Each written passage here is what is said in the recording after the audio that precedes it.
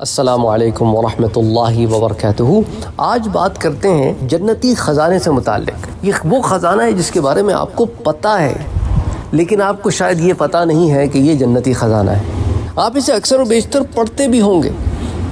हुजूर अकरम सल्लल्लाहु अलैहि वसल्लम का फरमान पाक है। रिवायत करते हैं इसे हज़रत अबू ज़र गफ़ारी रदी अल्लाह तु कि मेरे प्यारे नबी सल्लल्लाहु अलैहि वसल्लम ने इरशाद फरमाया कि अय अबू ज़र, क्या मैं तुम्हें जन्नत के ख़जानों में से ख़जाने के बारे में ना बताऊँ? तो हज़रत अबू ज़र कहते हैं कि मैंने अर्ज़ की या रसूल अल्लाह सल्लल्लाहु अलैहि वसल्लम ज़रूर बताइए। यानी जन्नत के ख़जानों का मुतलाशी और कौन नहीं है?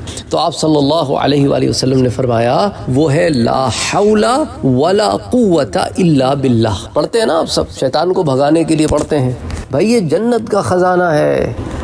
और ये ईमान को ऐसी तकवीत देता है ना ये जन्नत का ख़जाना इसलिए जन्नत का ख़जाना है कि मेरे रब के सिवा किसी की हिम्मत, ताकत, क़वत है ही नहीं कि कुछ कर सके।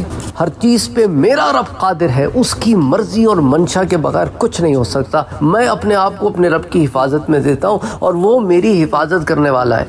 मजाल है जो कोई फिर फटक फड़ आ जाए तो ये बड़ा दर्जा कमाल का ज़िक्र है भाई।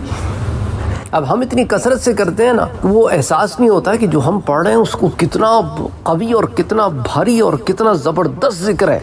ला कुत बिल्लाह।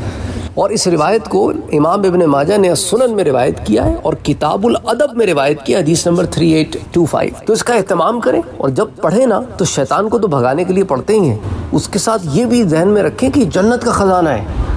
और रहमतुल्लिल ने इसके बारे में हमें बताया है। अल्लाह अकबर अल्लाह अकबर। अल्लाह सल्ली वसल्लम मुबारक सय्यदिना व हबीबना व शफ़ी महमदिन अलैहि वसल्लम।